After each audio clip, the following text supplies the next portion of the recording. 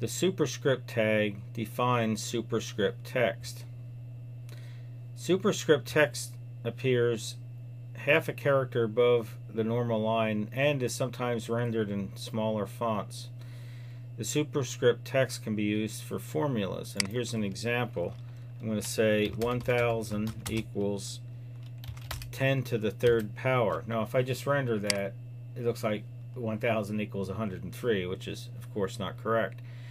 I want to make that 3, I want to make the 3 here uh, smaller and, and bring it up to show that it's to the third power.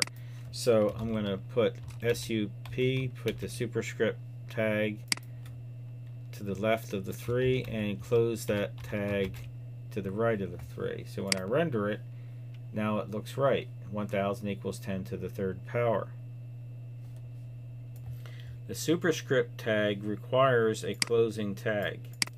Everything between the opening superscript tag and the closing superscript tag is affected by that tag.